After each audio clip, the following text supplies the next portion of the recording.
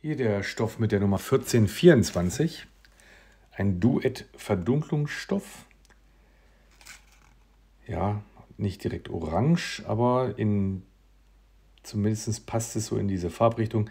Wir haben das genannte Lachsorange. So ist es immer wieder mit den Farbbezeichnungen nicht ganz so einfach. So sieht es dann auf einer weißen Karte aus. Ja.